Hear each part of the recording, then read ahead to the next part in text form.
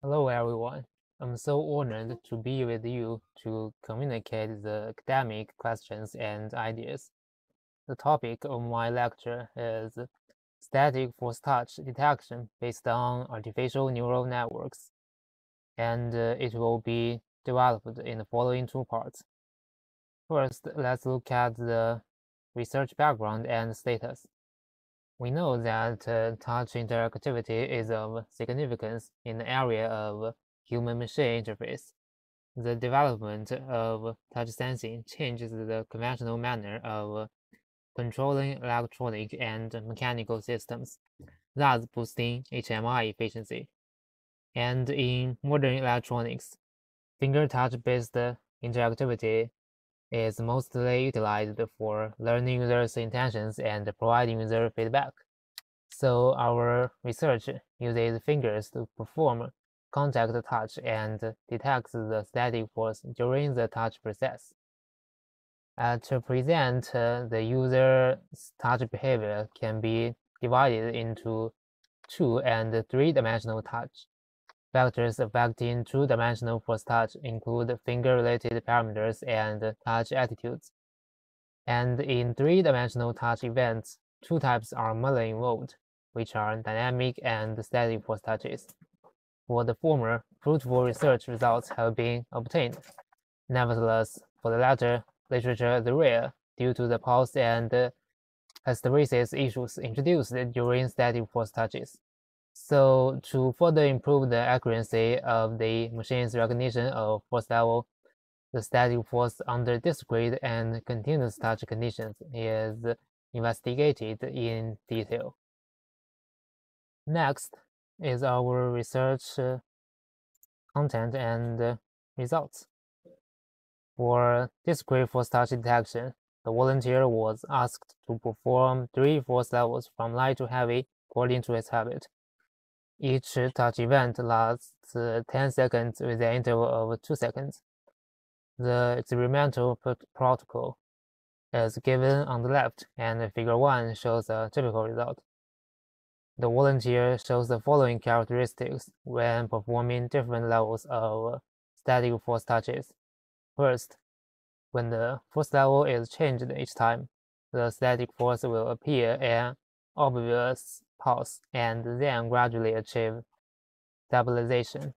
Second, the peak value of the pulse varies with different force levels. The pulse value is low or the pulse even does not appear when the force is light. However, when the force becomes heavier, the peak value becomes high. Third, the width and decreasing slope of the pulses are different. The pulse width of the middle force is longest, and the decreasing slope of the heavy force is the largest. Fourth, the stability of different force levels is different. In the case of the heavy force, the jitter is more obvious when the static force is applied in a single time, and the fluctuation of the stable value is also larger when the experiment is repeated. The figure on the right shows the four characteristic values of static force touches. The above phenomenon reflects the individual's ability to control static force. In applying light force, the volunteer has a strong ability to control it, and the control ability gradually decreases with the boost of force level, which makes it more difficult to maintain the heavy level force, and the force touch will be more unstable. Next, we detect the continuous force touch, in which the static force behaves differently similar to the measurement steps of the discrete force touches. The time interval between two different force levels is cancelled, and the static force level is continuously applied from light to heavy and then to light. It demonstrates that the pulse still appears during the conversion of force level.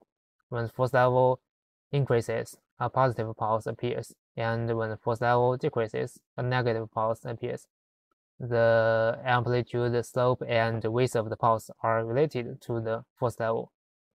In the process of force increase or decrease, the same force level may have different stable values, which causes hysteresis and leads to force misregistration. To solve the above problems, we choose a fully connected neural network of the multi-layer perceptron type to establish the mapping relationship between pulses and their stable values under different force levels, thus improving the efficiency and accuracy of human-machine interaction. In the above experiment, the three levels of discrete force were tested 1000 times, so there are 3000 samples for different inputs and outputs. The fitting performance of the model is evaluated by the mean square error between the output value and the target value.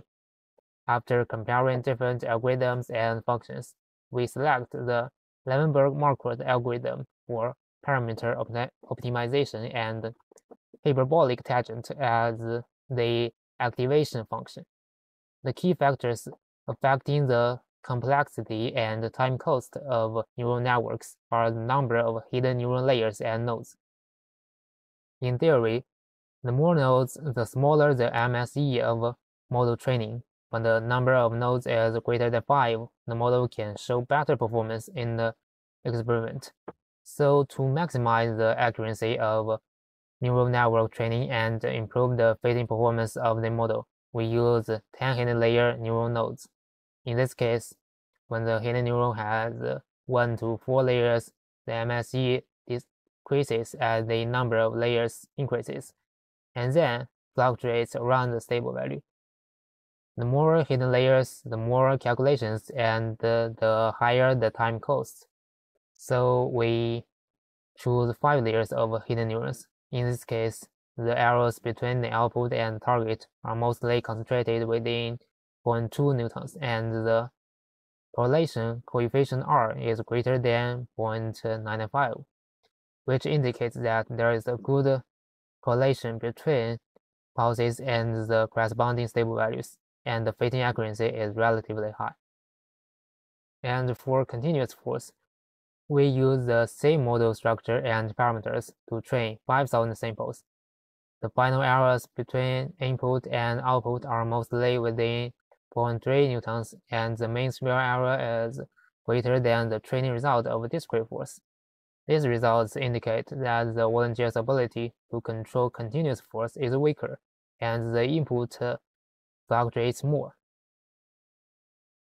Real-time performance is also a crucial issue when the computer is interacting with humans. In the process of applying static force, the characteristics of the pulses obtained by the machine are constantly changing, thus leading to various recognition results. So we also verified the models under different input times, and the experimental results are shown in Figure 10. It shows that there's a contradiction between the real-time performance of static force detection and its accuracy. In the pulse duration, the ANN's recognition errors are 1.99 newtons and 2.15 newtons, and the relative errors are 17.72% and 19.12%. After the pulse disappears, the ANN's recognition error is 0.54 newtons and the relative error is 4.84%. Therefore, to make the static force detection more accurate, the machine's recognition of the force level should be carried out after the pulse peak appears for a period of time. In summary, we have extracted the key parameters of the pulses and systematically analyzed the pulse and hysteresis in the static force touch detection.